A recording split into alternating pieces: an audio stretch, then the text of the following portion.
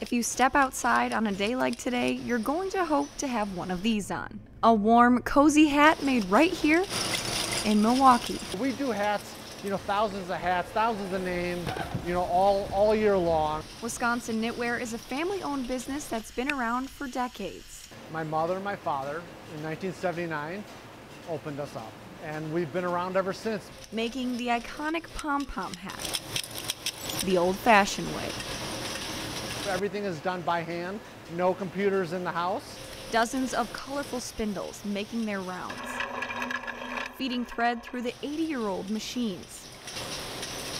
You can see the name is coming down. As workers trim the edges and make the final touches. But the real cherry on top?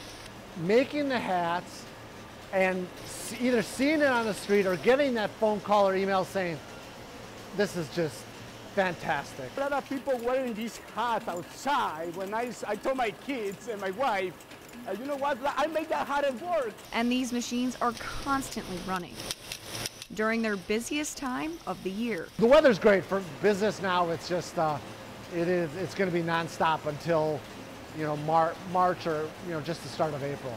And even though the winter season is pretty lucrative for this type of business, the owners say the best part about it, being able to give back.